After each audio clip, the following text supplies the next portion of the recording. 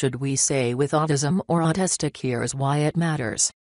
Should we say with autism or autistic when talking about kids or adults on the spectrum? I get this question often. I also have readers ask me to change the way I use the terms in this blog, and hear a lot of confusion from my friends, family, and the professionals who work with my son, a non speaking seven year old on the spectrum. With autism, as with all things, how we speak about it reflects how we think about it, our priorities in relation to it, and what we believe to be the truth of it. For these reasons, many advocates are challenging the use of person first language and reclaiming the term autistic. At face value, person first language, which is what parents uses when writing about ASD, makes sense. It puts the person before the disease.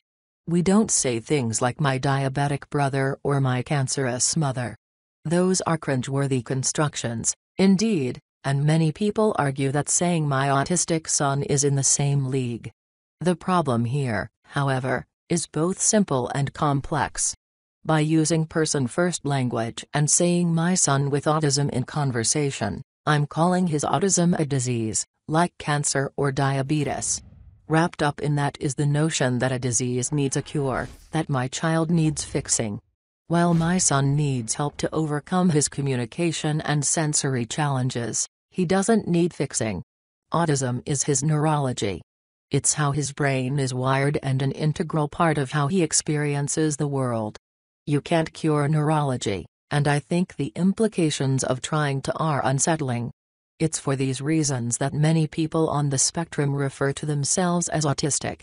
There's a wonderful, detailed explanation of this on the Autism Self Advocacy Network's website, but some key points of their stance on language are worth quoting here. When we say person with autism, we say that it is unfortunate and an accident that a person is autistic.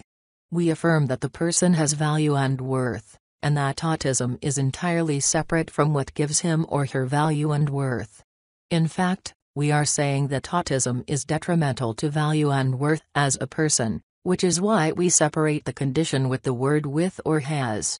Ultimately, what we are saying when we say person with autism is that the person would be better off if not autistic, and that it would have identity as an autistic person because we are saying that autism is something inherently bad like a disease. Yet, when we say autistic person, we recognize, affirm, and validate an individual's identity as an autistic person. We recognize the value and worth of that individual as an autistic person, that being autistic is not a condition absolutely irreconcilable with regarding people as inherently valuable and worth something. We affirm the individual's potential to grow and mature, to overcome challenges and disability, and to live a meaningful life as an autistic. Ultimately, we are accepting that the individual is different from non autistic people and that that's not a tragedy, and we are showing that we are not afraid or ashamed to recognize that difference. So, what do I do when faced with this debate? For now, I say Liam when talking to my son and about him. I tend to say my autistic son when telling people about him in more detail in my non blogging life. Since I'm writing within a particular context here, I stick to person first language because that reflects the magazine's official stance.